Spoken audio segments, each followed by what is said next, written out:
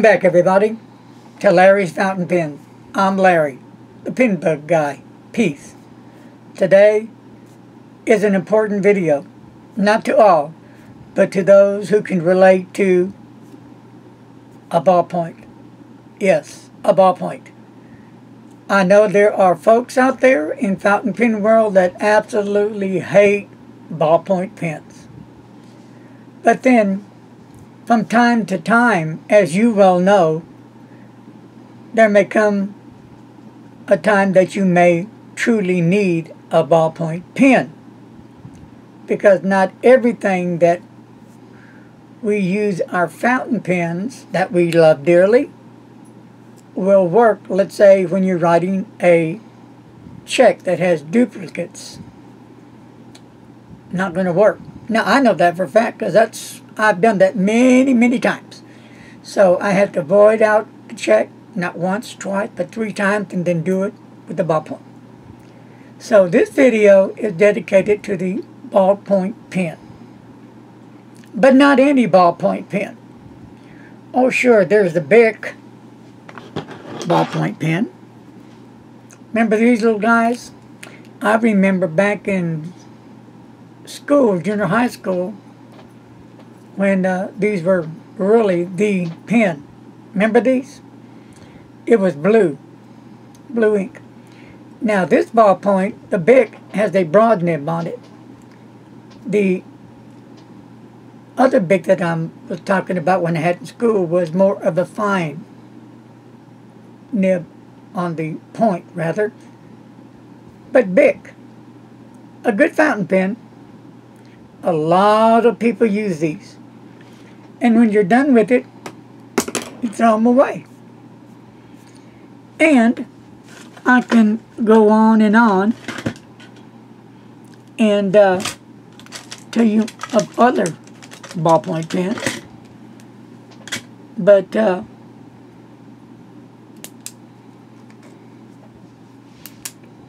I guess I'll just leave it at that. A ballpoint pen is a ballpoint pen press down hard, right, you know the whole nine yards. You've done the dance many times. So, let's focus on this particular ballpoint pen that I'm talking about today. Not just any. In my opinion, this is one of the better ballpoint pens. It is the Monteverde Invincia Just look at the barrel of the pen. Look at that beautiful detail work that's all in it. The color, it's black with like white kind of grayish swirls going in it. It's just a beautiful design ballpoint pen. And it's got a nice clip on there. The pen is really made well. And on the cap, of course, it has Monteverde, USA, Invincia. And this is the Executive 3. So, nicely engraved in there. And on the smaller band, it has black, uh, red, and 0.5. So what does that mean?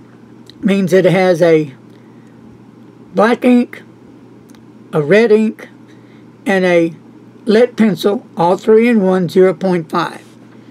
Well, the black ink and the red ink, when I got the pen, was dried up, didn't write. So what I did was I ordered the broad nibs. Uh, I ordered a orange and a turquoise. And they wrote, but it was really too light. Uh, to to read. Uh, so it was just like you really had to get down to it and look at the paper. So it just wasn't cutting the mustard. So I went back and reordered, and I got the Monteverde refills, and just got a black and a blue one for now. Well, I know how it's going to write because it's a ballpoint. But what the heck? A very nice ballpoint pen that doesn't get hardly any love whatsoever because it's an outcast. It's a ballpoint pen. How ridiculous. How pathetic. A ballpoint pen. How dare you? Well, if you know me by now, I'm the one that always crosses the line. I will go where others dare not go. And ballpoint pens has landed. For you that are into ballpoint pens or understand the importance of a ballpoint pen, here it is. And uh, as you turn the barrel, it'll go to, let's say, uh, black, and then you turn it towards your towards yourself, and then you'll get a blue, and twist it again, and it's gone. It goes back back up into the barrel, and then the top here, on the top of the cap, that cover is for, pull it off, and there's your eraser. And you can get refills for it, and that's cool. So, how do you fill this thing? Take off the cap, voila! And there they are. This is the pencil for the mechanical pencil. And then here's your two refills, the black and the blue. And it just goes, they fit in. This comes easy out. They're the mini refills. And they just go right back in.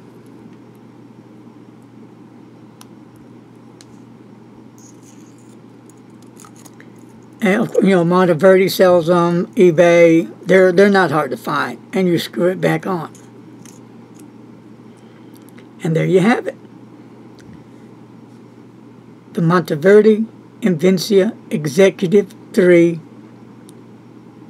ballpoint pen. So let's do some writing with it.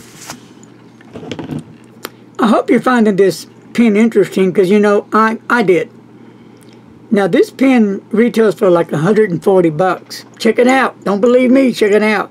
But you can get them from sellers right now. I think like 70, 80 bucks, sometimes 90.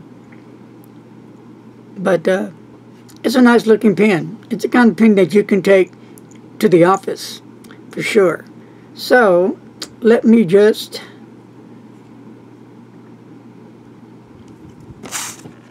get it ready to write. Monteverde Invincia, and this is a ballpoint.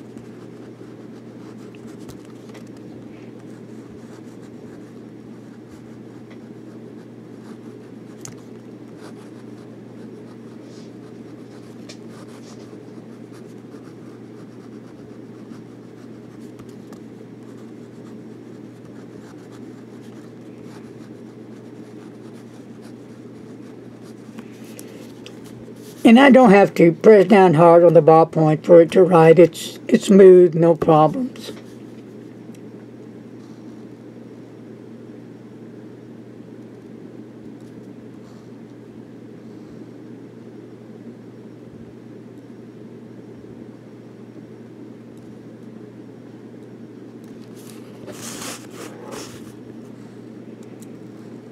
It really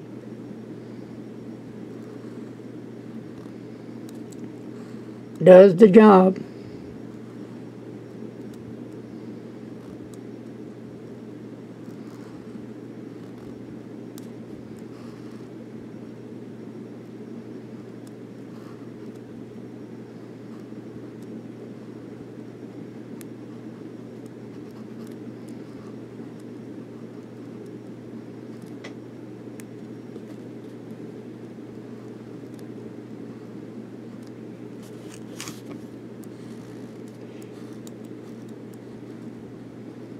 So if you're into ballpoint pens, you might want to check out the Monteverde line of ballpoint pens. Here, there's there's other lines. Cross has a good one, a really Nice one, in fact. I do like Cross as well. So there you have it. Larry's FP. What's FP for? Fountain pens. This is a decent ballpoint pen. It's got class. It has style. It's got some nice weight. It's uh, not going to be super heavy, but you, you will feel some weight. You know you have a nice ballpoint pen in your hand. Uh, just a great looking pen. Something that uh, you won't, you know, be ashamed of. Like, I'm not ashamed of the Bic by no means, but look at the difference.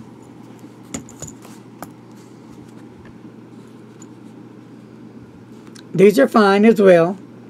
There's nothing wrong with the Bic. I know a lot of people like the Bic. They're affordable. It's what you can afford. It's all about your buck, how you spend it. The Bic is a decent pen for what it is. And this Bic has the 16 millimeter on it, so it's a broader tip on it. And it does well. And while we're at it, let's just show you.